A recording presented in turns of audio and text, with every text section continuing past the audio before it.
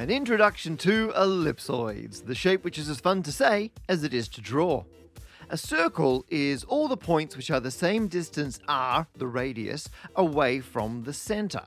Using Pythagoras, we can get the equation for a circle. The x coordinate squared plus the y coordinate squared equals the radius squared.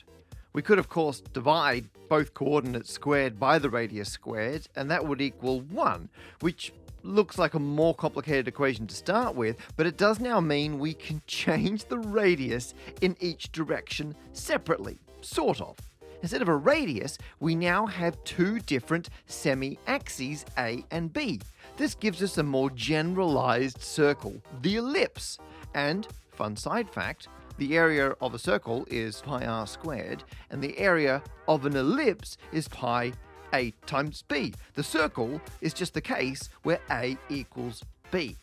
In three dimensions, it is all pretty similar. If all three coordinates, each squared, sum to give some constant, the surface is a sphere.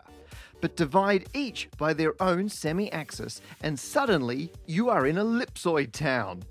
Fun side fact here the volume of a sphere is 4 thirds pi r cubed. The volume of an ellipsoid is 4 thirds pi a times b times c.